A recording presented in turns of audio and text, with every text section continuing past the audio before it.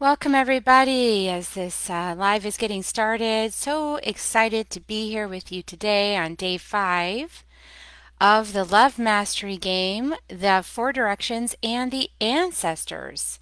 So happy to be with you here today. And oh my goodness, let's call in the other directions, and uh, then we'll work with today's direction, which is the East. Welcoming in the South to hold us in beautiful, loving, sacred space with our hearts open, connected with each other in love and grace and beauty, letting go of everything that came before today, this right this moment right now, just being here in the present. Welcoming the West, Otorongo Jaguar, protect this medicine space. We welcome the West to show us the beauty of all things in life and to Help us to release with ease and grace and to expand into the greater potential. We welcome you, West. We welcome you, North, place of Siwar Q'enti Hummingbird. We're so grateful, North. Thank you so much. Thank you, North. Place of our ancestors and guides who help us so much. Thank you, ancestors. Remember who we are in truth and love, and know that we have the support of all of our ancestors and guides. Thank you, North. And now, East. We welcome you, East. Oh, the East is the place of the dawn, the rising sun, the new opportunity, the new potential.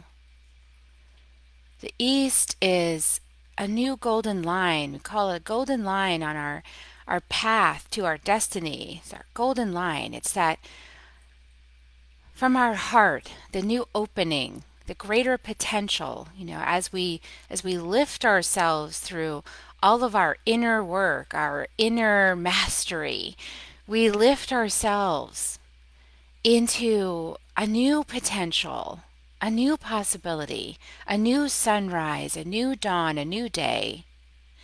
And from this place, we step forward into the unknown, into the mystery of what's going to unfold before us as we start walking this new golden path, this new destiny line.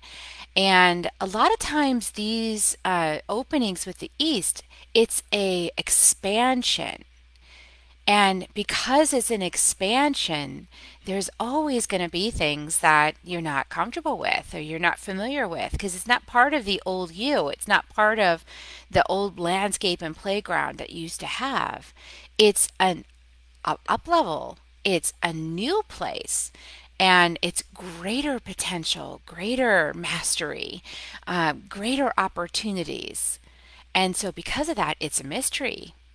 So, a lot of times when we move around the wheel, um, with the four directions and we come back to the east, we feel like we're new students again. We feel like it, you know, we just, you know, sometimes we feel like we got demoted. It's like, wow, I thought I knew what I was doing. And then I got into the east and I realized I didn't know anything.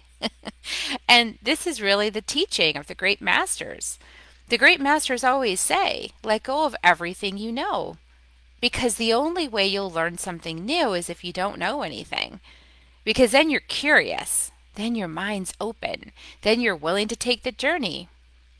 And the East has a lot of medicine for us today in our current culture, our Western culture, where the game of Western culture is to know everything and be the expert and have all the answers and have all the proof and documentation to back it up that you have all the answers and have reams and reams and reams of paper to show that you know what you're talking about and you have the answers, which is very serious because you have to prove your authority and your credibility because that's very, very serious.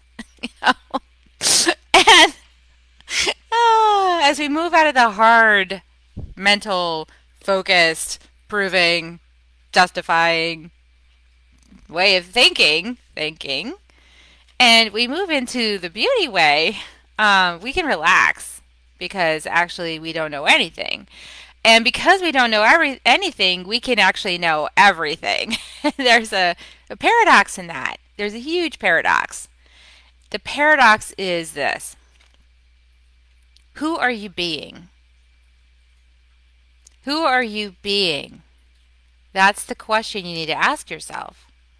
If you are being your personality, then probably you're in the mode where you need to know everything and do everything and you know and that's in your conditioning. That's in your temporary existence. That's that's the conditioning you've been raised up to believe that you needed to have in order to be an expert and prove that you know what you're talking about and um, you know have lots of evidence reams and reams of evidence or certificates on the wall um, all of that that's it's all part of this current Western paradigm that we landed in in this time and space, which the Q'ero people call the Pacha. So when you land in the Pacha, you're at a specific point in in time, in a specific point in location and physical reality, and you're at a specific point in conditioning of the overall collective, and you're at a specific point of conditioning in your family system and in your school system and in all the systems that you engage in, and that forms your consciousness in the pacha. It forms your consciousness. And when you're operating from that place, it is very serious. Like you really do have to prove that you know what you're talking about. Otherwise, no one is going to take you seriously. And the most important thing in that world is to be taken seriously so that people will listen to you and people will hire you and people will give you money. And that's just, you feel the energy of that. It's heart closed, just what it is. It's mental. It's a mental model. It's a mental sparring model, you know, to war with other people over information. And we saw oh so much of that mental sparring going on during the pandemic. Tons and tons of mental sparring, and much of it lacked heart, heart engaged conversation. Much of it lacked listening and learning and opening to see what does this mean? What is this all about? I am open to the possibilities. I do want to learn. I want to understand why this has happened to on earth at this time and I'd like to understand what it means for me.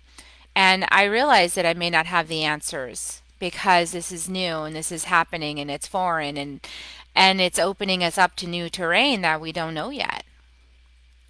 You know, there's this um, thing that Martin Luther King said, which I love. He said, if you can see, you know, you can't see the whole stairwell, you only see the first step. And the reason why he said that is because he was living from the greater mystery. He was living from the East. He didn't have a vision, a really true, solid, grounded, embodied experience of what it would be like for every man, woman, and child, no matter what skin color, to feel like they had equal opportunities. He didn't have a lived experience of that. He had a dream of it. He had a vision of it. His heart opened to what would it be like if it was like that. That feeling is what's going to move me through my day of a dream of what could be. I have a dream. The East is the dream. New Earth is a dream. We don't know what New Earth is going to look like. It's a dream. It opens our heart when we let it in. And we can let that dream guide us. And that's the work of the East to let the bigger dream of our heart, of our soul, guide us to learn how to bring it into physical reality, how to actually become that as a three dimensional being, how to bring it in. That's the work of the East. And so the East is a really powerful ally. And I often call on the East and I say, East, lift me up and help me take those first few steps along the path and help me take the next step and show me where the next step is and teach me the next step. And sometimes those steps are external actions, inspired, inspired actions, inspired actions. And sometimes they're inner work.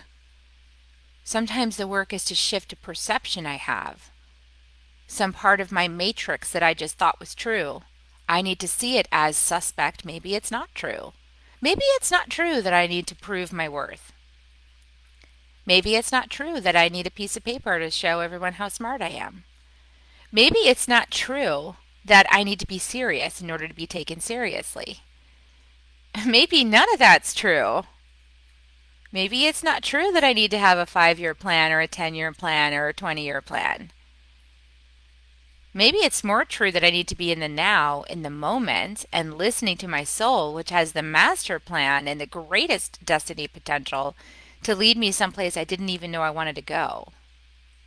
Isn't that cool? So that's that's the East.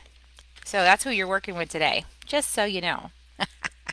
okay, so here is the sheet of paper again.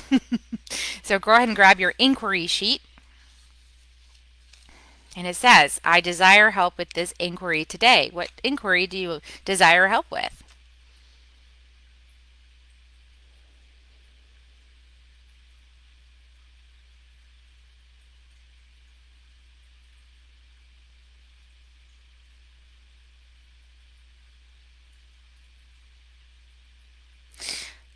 To my aid comes the East,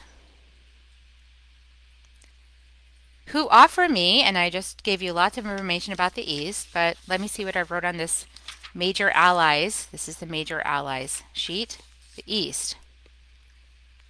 The winds of the east help us to make each moment a new sunrise, a new potential, a new decision. It helps us to plant the seeds of our desires and fuel them with the rising sun to grow into manifestation. And those desires come from our heart, the inspired place. So write down on the description line, what does it offer you? What does the east offer you?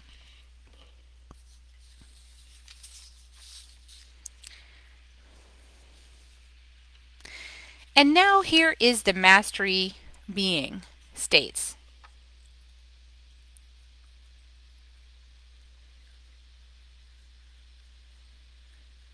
Okay, so we're going to pick a number from 1 to 12. Close your eyes.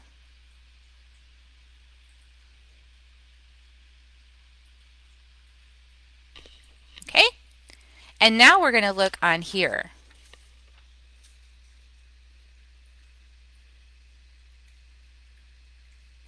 What is your number? What does it signify? And then write that state of being on your state of being line.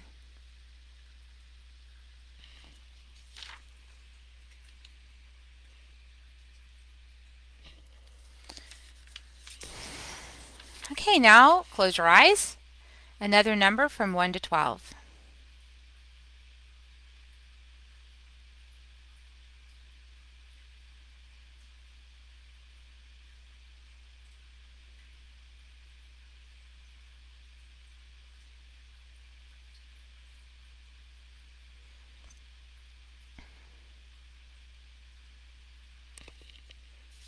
All right. And here is the, the sheet, Mastery Principles. What mastery principle did you get today?